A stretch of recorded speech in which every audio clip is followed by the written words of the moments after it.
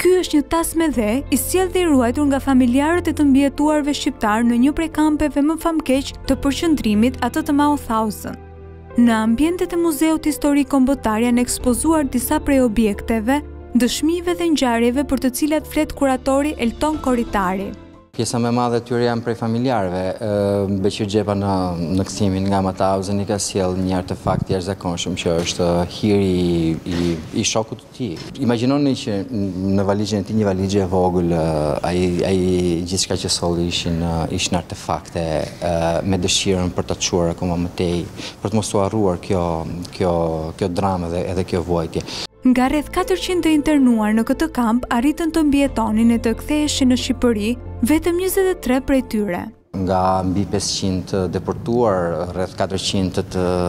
të internuar në Mauthausen u kthyen gjallë vetëm njëzet e tre prej tyre në Shqipëri,